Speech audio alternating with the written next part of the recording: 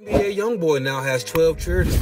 Jesus Christ. Another one. You know, the same as Nick Cannon, and while Tyreek Hill has 11. Uh, Tyreek, I don't know what you're doing. You got to catch up, my boy. We can talk about this guy or this guy or this guy all day long. But when are we going to talk about these ladies? Before the Godfather passed on, he told us that most of these women having these babies are having these babies by the same men. He ain't lying. Say it with me. Accountability equals responsibility. Accountability equals responsibility. Accountability equals responsibility. Accountability equals responsibility. Accountability equals responsibility. And this is proof right here. You don't have to be a millionaire ass nigga to get multiple women to have children by you. Why do you think this is okay? And then when these kids grow up with all types of issues like abandonment or having issues in their relationships, you wonder what the hell is going on. And then the moms, what they're going to do is they're going to blame the father for not being around enough. He ain't lying. Fuck them kids. How, in God's name, can these men possibly be around enough for all these children? They have to go to work. They can never stop working.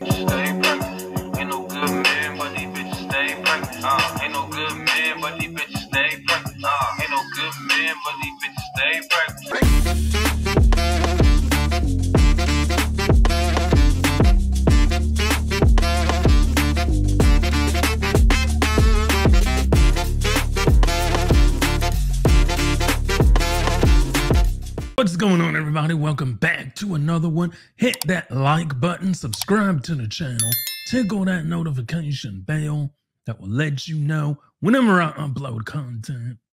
You know what we're gonna do. Yep. Roll that clip.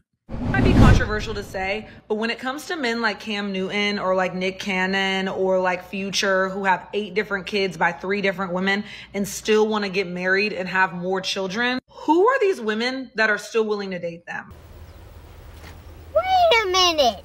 Like, how, as a woman in good conscience, could you knowingly be sitting up on a date with this man or on a vacation with this man, knowing that every minute he spends with you is a minute he's spending neglecting his children? And you, for some reason, think that things are going to be different for you and for your kids you may have with him. And even if that is the case, if he's the perfect father to your kids or the perfect husband for you, he's neglecting eight other innocent babies. Yep. That is disgusting behavior to me. I don't know, diabolical. I don't care how much money he has. How do you sleep at night knowing you're contributing to the trauma of eight children? That's insane to me. See, let's talk about this. Ladies, ladies, come here. Stop telling men to do better. Stop moving the goalposts, ladies. Stop telling us that men need to do better and then women will do better once men do better because guess what? You choose the men. Pow.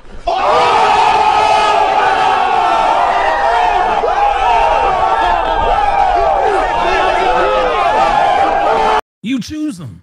You can't keep getting mad at men. Get mad at yourself. Stop moving the goalposts. Stop it. Get some help. You're the one that's gonna suffer, not the man. We don't suffer when we give you a child. We can leave, we can go, we can disappear, but you're the one that suffers. See, this is the other thing, ladies. Stop. Saying, oh, I'll do better once the men do better. You can't keep holding men accountable until you hold yourself accountable. Because at the end of the day, ladies, you sleep with them, you open your legs, you give them the child. So, how much accountability falls on the woman? Modern women are just like Maury. Y'all ever saw Maury? Raise your hand if you saw Maury. All right, we got a couple. We got a couple people. So, don't you remember when Maury would say, You are not the father. and then the women would be like this.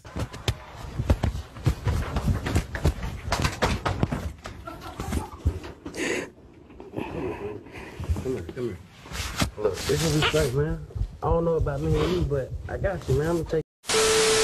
The whole point of the show is that I believe that the women knew that the guy wasn't the father. She just made it up in her mind that he was the father to suit her narrative.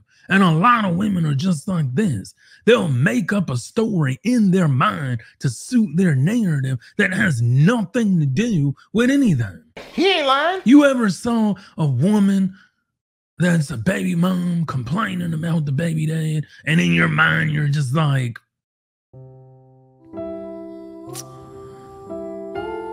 You chose them.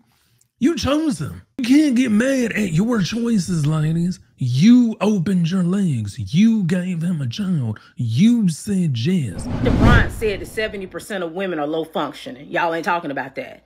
Dr. Bryant talked about how a lot of y'all women are delusional. How you have these fantasies made up in your mind of the men that you want. And then the actual men that you're dealing with, when they don't live up to that fantasy that you created in your head, you deem them not to be good men. Y'all ain't talking about any of that. Women love watching her hold Cam Newton accountable, but when are y'all gonna be ready to be held accountable? Oh shit. Because you want so bad for somebody to sit up and hold men like Cam Newton, Nick Cannon, NBA YoungBoy, young dirt. You want people to hold these type of men accountable for the broken homes, the womanizing. But guess what? It's kind of hard to hold these men accountable when everything that you could tell them that they doing wrong, y'all women show them otherwise in your actions.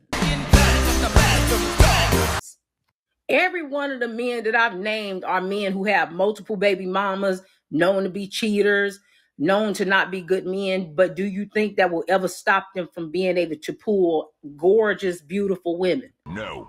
No. No, No, it won't. And so, as long as they bad actions are always rewarded, there's no reason for them to change. I don't know when women will truly understand the power that you hold and the access that you give men. But as long as the access is always available, there is no true consequences. And since there's no true consequences, there's no way to get these men to change because there's no benefits in them changing. They get the same thing for not changing that they get for changing. So if they don't have to make any adjustments to get what they want, then why would they? It's as simple as telling a child, if you're good, I'm going to give you some candy. But if you bad, I'm going to still give you some candy. So what's the reason for them being good? Like they're gonna get the candy whether they good or bad. So why exactly would they go out their way to be good when they don't have to? They still gonna get the same thing they would get for being bad, for being good. That's what this is. You can tell Cam Newton and all of those type of men how wrong it is for them to do the things that they do, but they get rewarded at the end of the day. So as long as they get rewarded, there's no reason for them to change. And they won't. You know what the difference is between men and women? Men, gather around. You need to stop dating women that use you for money. You know why, guys?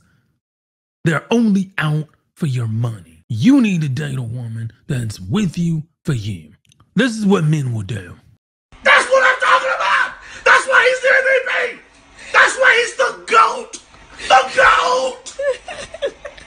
Ladies, you need to take some accountability. You need to do better. You need to avoid bad men. You need to realize that the red flags are there and pay attention to them. This is what women will do.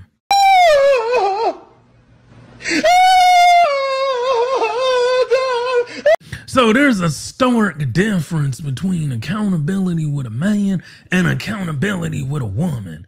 Women don't take accountability because accountability begets responsibility. That makes them responsible for their decisions, and they don't want to be responsible. They want everybody else to be responsible. So that's the reason why women don't take accountability. Say it with me. Accountability equals responsibility. Accountability equals responsibility. Accountability equals responsibility. Accountability equals responsibility. Accountability equals responsibility. Anyway, y'all, that's been it for today's video. Don't forget, hit that like, subscribe, tickle that notification bell. And if you're not subscribed, hit that subscribe button. If you liked the video, leave a comment and I will see you in the next video.